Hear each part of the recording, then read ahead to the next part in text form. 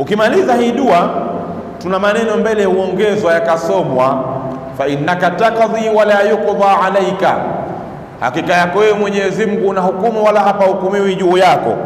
Wa innaku, na hakika mambo yalivyo, la yadhillu man walaita, hadhaliliki yule ambaye umemthibitisha katika nafasi na daraja alizokuwa nazo, wala yaizu man adaita, na wala hatukuki yule ambaye umempiga vita.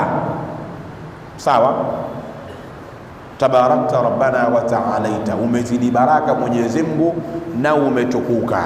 Falaka alhamdu ala ma qadaita, ni zako sifa njema juu ya kila kile ambacho umekihukumu. Maneno haya kuanzia fa innaka taqdi wala yuqda alaika mpaka hapa falaka alhamdu ala ma qadaita. Maneno haya watu wa fiqh wanatuambia haya, hii inaitwa ni thanaun, hizi ni sifa za Mwenyezi Mungu. Ndo pale utapoona imamu waqina ya rabbana sharra ma qadait amin, kisha anakaa kimya. Vile akikaa kimya, manake yeye anasoma hizi sifa za Mwenyezi Mungu na wewe pia unatakiwa usome hizi sifa za Mwenyezi Mungu. Kimya cha hapa sio kile kimya cha baada ya suratul Fatiha kwamba na wewe usome Allahumma hadini fi man hadait wa afini. Aa,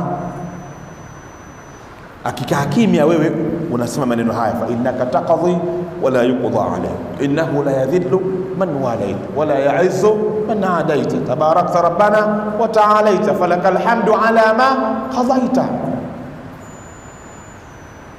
Ndio maana kile kimya.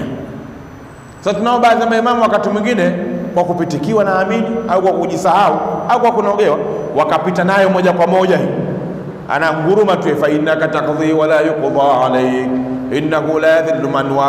Ukikuta maamuma ma, ma, ambao wenye macho macho wanakuwa hata amina waitikia hapo tena, wanakaa kimya tu, kwa sababu anajua hizi ni sifa za nani? Za Mwenyezi Mungu Subhanahu wa Ta'ala. Kwa hiyo tujue kwamba kipande hiki pakikaliwa kimya, sio cha wewe kusoma tena Allahumma hadina fi man hadaita. Kipande hiki cha kusoma maneno haya fa innaka taqdi wala yuqda alaika, mpaka hapo falaka alhamdu ala ma qadaita. Akimaliza hapo ndio utamsikia imamu sasa, kama ndo hana mambo mengi tena, nastaghfiruka allahumma wa natubu ilaik, tunakuomba msamaha Mwenyezi Mungu subhanahu wa ta'ala, na tunarejea kwako. Anamalizia dua yetu, wa sallallahu ala sayyidina Muhammad wa ala alihi wasahbihi wasallam. Hiyo ndiyo kunuti.